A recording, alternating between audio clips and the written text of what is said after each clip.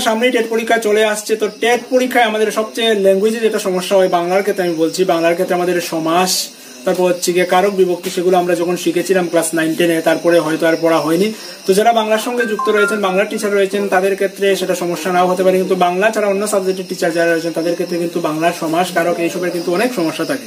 তো আজকে আমি আপনাদের দিতে চলেছি বাংলা গ্রামার বুকস সম্পূর্ণ ফ্রিতে পুরো বুকস পেয়ে যাবেন। সেখানের মধ্যে খুব সহজভাবে আলোচনা করা হয়েছে সমাজ, কারক, বিভক্তি সহ সম্পূর্ণ গ্রামার নিয়ে আলোচনা করা হয়েছে। সেই বুকটা আপনাদের আমি দিতে চলেছি। আপনারা ফ্রি ডাউনলোড করে নিতে পারবেন। তো সেটা নিয়ে আমরা আলোচনা করব। তো চলুন ভিডিওটা কন্টিনিউ করুন।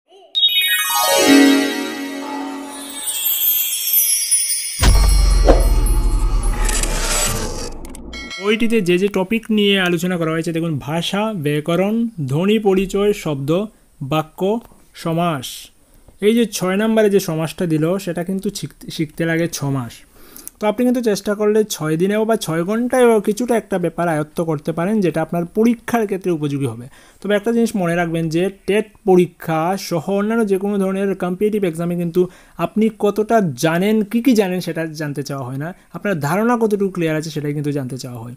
অতএব আপনি সমাজ যদি কিছু কিছু যেগুলো ইম্পর্টেন্ট ধরে ধরে এগুলো এসছে এগুলো এসছে, সেই শব্দগুলো শিখে নেন, তাহলে কিন্তু হচ্ছে না, একেবারে আপনি মানে কিছুই করতে পারবেন না পরীক্ষায় গিয়ে। এক্ষেত্রে আপনার কনসেপ্টটা জানা দরকার। যে কোনো ধরনের প্রশ্ন আসতে পারে। মানে কনসেপ্ট আমি দেখলাম যে কনসেপ্টটাই দরকার। কনসেপ্ট যদি আপনার জানা থাকে যে কোনো প্রশ্নের আনসার আপনি করতে পারেন এবং পরীক্ষাতেই কনসেপ্টটি চাই যে কোন শব্দের বা কোন বিষয়ের কনসেপ্ট আপনার কতটুকু রয়েছে। তো কনসেপ্টটা জেনে যাবেন। অযথা মুখস্থ করে সময় নষ্ট করতে যাবেন না।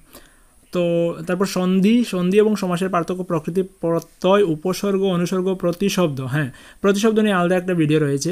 প্রতিশব্দও কিন্তু খুবই ইম্পর্ট্যান্ট তারপর বিপরীত শব্দ, পরিভাষিক শব্দ সত বিধান বাংলা বানান, শব্দ শুদ্ধিকরণ, বাক্য শুদ্ধিকরণ আচ্ছা।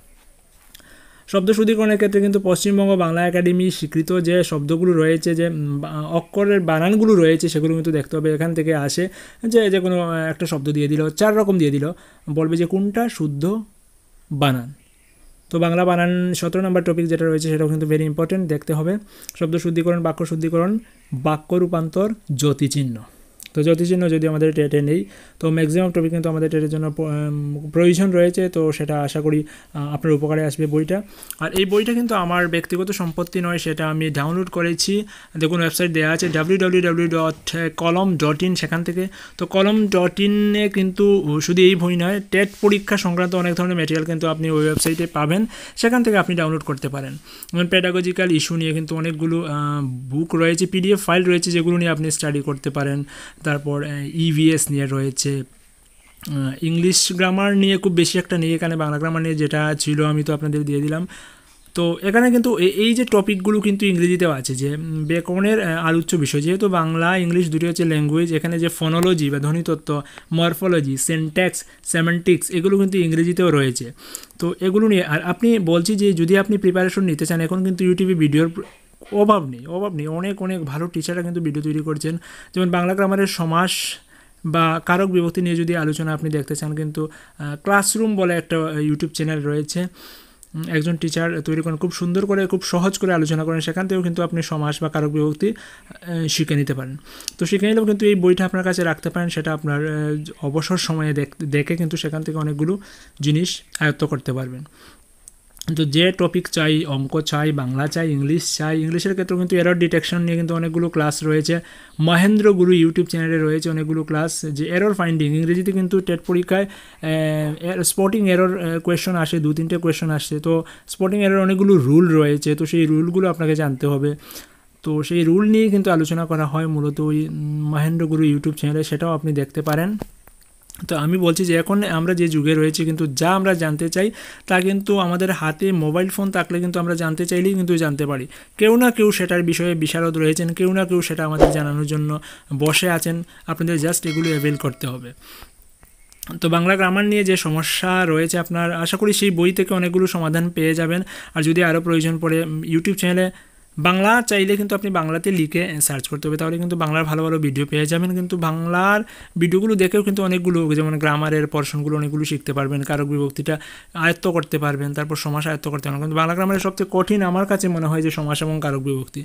যারা বাংলার বিষয় রয়েছেন ওনাদের কাছে তো এটা জলভাত। কিন্তু আমরা যারা বাংলা জানি না বাংলা জানি না বলতে কি, বাংলা গ্রামারটা জানি না।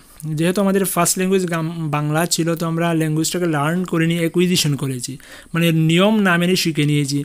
কিন্তু এখন তো পরীক্ষার জন্য আমাদের কিছু নিয়ম মানতেই হবে, নিয়ম কিছু জানতে হবে। তো জানার জন্য কিন্তু অনেকগুলো ইউটিউব চ্যানেল রয়েছে, সেখান থেকে সার্চ করলে আমরা পেয়ে যাব। আর টেটের ক্ষেত্রে আমি বলছি, আপনারা কিন্তু সিলেবাস ধরে ধরে পড়বেন। অযথা একটা বই নিলেন, বইয়ে এ টু জেড যা রয়েছে সব কিছু চোখ বন্ধ করে শিখে নিলেন, সেটা কিন্তু আপনার খুব বেশি উপকারে আসবে না। আপনি টপিক দেখুন সিলেবাসে কিন্তু টপিকগুলো দেওয়া আছে, সেই টপিক যেখানে পান সেখান থেকে শিখেন। আপনার যে বই থেকে শিখতে হবে সেমন কোনো কথা নেই কিন্তু।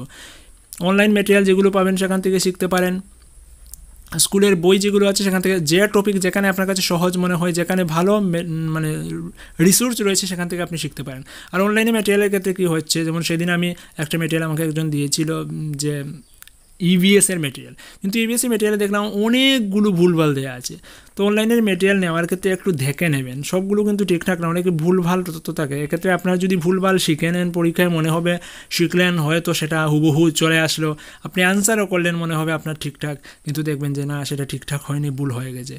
তো অনলাইন মেটেরিয়াল নেওয়ার ক্ষেত্রে একটু মানে সার্চ করে নেবেন আর কি, ঠিকঠাক আছে কি না না বুঝে নেবেন। না হলে যে কোনো মেটেরিয়াল পেয়ে শিখে শিখে নেবেন না বা সেখান থেকে পড়বেন না। ম্যাটেরিয়াল একটু যাচাই করে নেবেন। আর যেখান থেকে যেটা সহজ মনে হবে সেটাই পড়ুন।